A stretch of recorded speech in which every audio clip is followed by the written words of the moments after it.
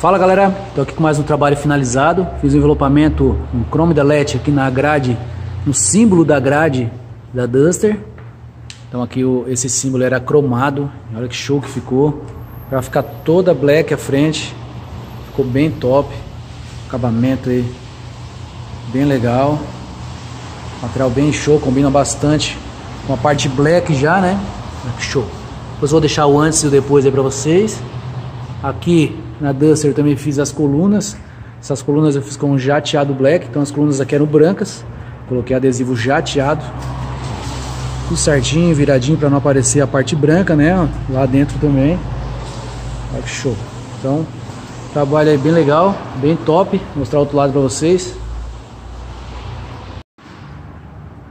Então aqui do outro lado também as colunas jateado. Fica bem legal aqui, fica bem, bem show a lateral da Duster fechada aqui, o vidro todo, né? O vidro tá baixado, mas quando fecha o vidro fica aquele, aquela, aquele black todo aqui, né? Fica bem legal.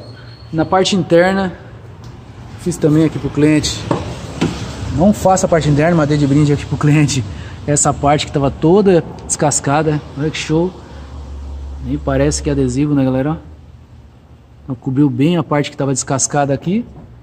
E também fiz o símbolozinho aqui do volante Trabalho que eu normalmente não faço, né, a parte interna, mas fiz aqui pro cliente, o cliente pediu.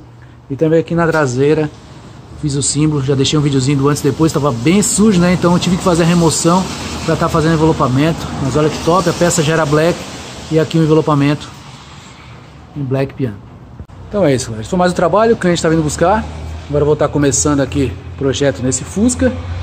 Fazer um chrome delete nele também, tirar as partes cromadas aqui das laterais, aqui em friso da porta e aqui na frente também por cima. Então é isso, galera. Isso aqui eu vou terminar amanhã e mostro pra vocês aí o trabalho finalizado. Valeu, galera!